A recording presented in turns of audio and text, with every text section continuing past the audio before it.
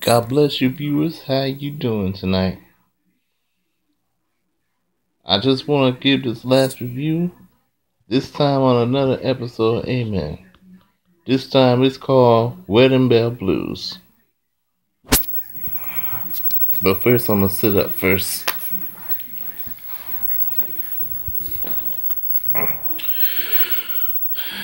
In this episode of Amen, the deacon plots to make the church into a Las Vegas chapel to raise money to send kids to camp.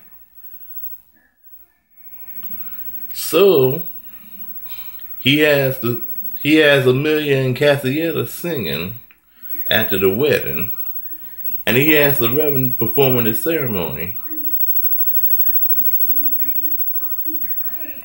And he even have Amelia and Cassietta and Thelma booking in weddings. But then, guess what? While booking this young couple's wedding, guess who comes in? The, the first couple that the Reverend ever married, Roger and Charlotte Holloway.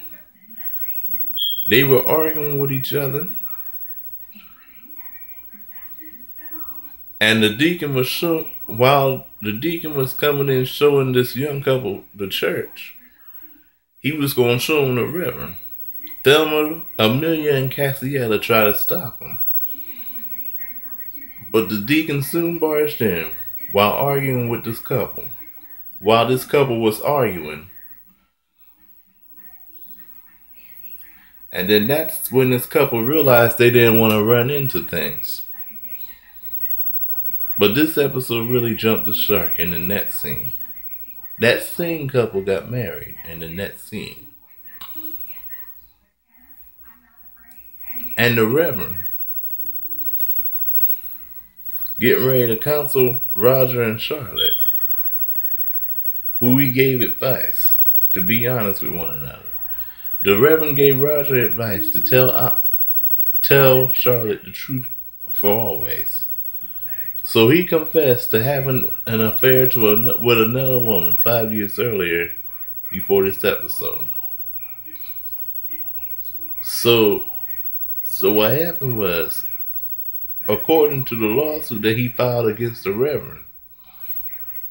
Roger lost his job after his wife put his tongue in his typewriter. But the funniest scene about it was Thelma said, I don't blame her. If a man cheats, he deserves to die. well, sometimes women have to agree with men. But man, you better look out right now because you know better than that. And you don't have to agree with the women when they say it. And you don't have to agree with Thelma either. But in this episode, the deacon calls Charlotte psychotic as he calls her to the stand to testify about about what happens. So the deacon asked her if she seen herself as a loving wife or as she really what she really is a chainsaw in a skirt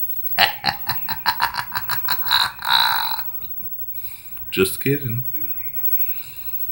so charlotte strips the deacon's clothes off except for the collar part of his suit and his tie in in anger, going, "Why you little?" You know, you know how sometimes when you when a person gets angry. So the judge told the deacon and the other lawyer that she was going to rule in the reverend's favor due to the fact that the marriage this marriage is not capable enough to be fixed by any marriage counselor. So I give this episode a solid 100. I tell you. And let this be a reminder to all of us men who love to cheat. Don't do it. Because some of these women today have tempers more than anybody else. In other words, don't cheat. Not all the women have tempers, you know. Well, anyway, let me get up on out of here. And I'll be back to give you another review on another future TV show I watch. God bless.